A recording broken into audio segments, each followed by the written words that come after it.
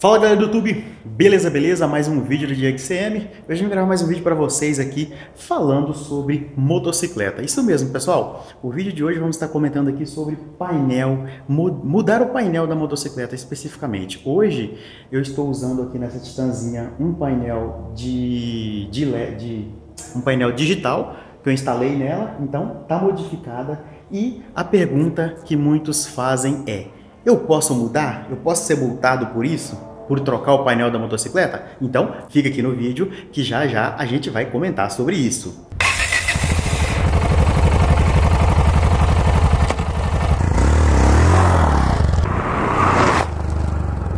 Se você chegou agora e não foi inscrito no canal, já se inscreva, ative o sininho, o sininho da notificação para ficar ligado com a gente aqui, trocar aquela ideia legal no canal, beleza? Então, bora lá pro vídeo. Pessoal, aqui ó, mostrando para vocês aqui ó, eu instalei aqui na minha moto um painelzinho digital, né?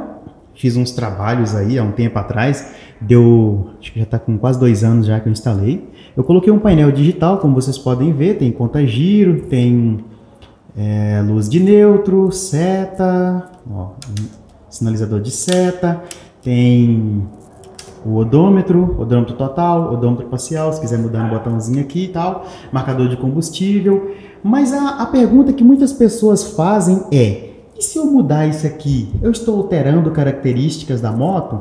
Por que, que eu falo isso, pessoal?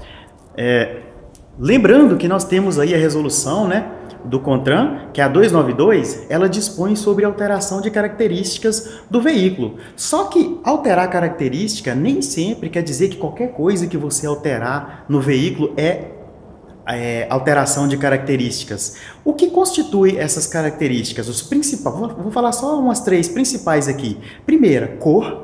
Você não pode mudar a cor. Sistema de iluminação, né? sistema de iluminação e sistema de estrutura que compromete a parte de segurança. No caso de, de freio, é, suspensão tal. Então, Citando apenas esses três exemplos, o que eu quero dizer é o seguinte, pessoal: você pode alterar essas características desde que o seu veículo passe por uma vistoria do Inmetro e seja aprovado. Mas que não é o caso aqui do painel, pessoal. O que, que é que lá no, no, no CONTRAN fala hoje que é obrigatório ter no veículo. O veículo é por obrigação, ele tem que ter um medidor, né, um aferidor de velocidade, que é para medir a velocidade, devidamente calibrado, lembrando sempre, e ele deve ter também, né, o, ele deve ter também o registro total de quilômetro, que é o, o odômetro total, para registrar a quilometragem. Então, isso são itens obrigatórios, além de sinalização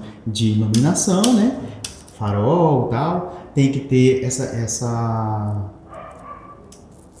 essas, esses indicadores são obrigatórios, o veículo tem que ter. Mas e aí a pergunta? E aí, Diego, o painel tem tudo isso, mas não é o modelo original da moto. Eu posso colocar?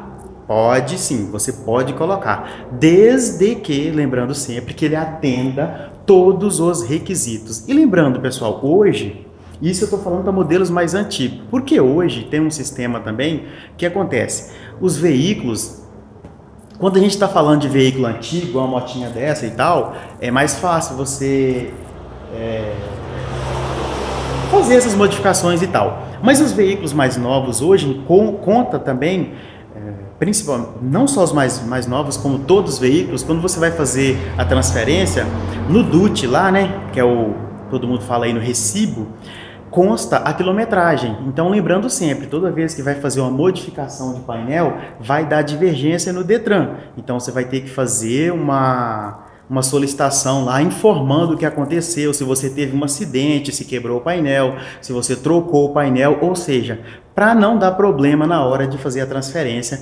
porque na última transferência, se der divergência, quilometragem abaixo, vai ter que ter uma justificativa para isso. Então, tem que ficar sempre atento a esses detalhes. Mas o simples fato de eu trocar o painel não é motivo de multa. Eu, desde que eu tenha o indicador de velocidade, o medidor de quilometragem, então isso é obrigatório. Tem que ter a sinalização, indicadores de luzes de sinalização. Isso é obrigatório. O restante não Não especificamente, porque vamos supor que eu tenho, eu comprei uma moto, é, vou falar uma marca aqui que vocês, algumas pessoas devem conhecer aí, tipo uma Airos, que já faz tempo que foi embora do Brasil, não tem mais, você não acha para comprar. Mas aí ela quebrou o painel.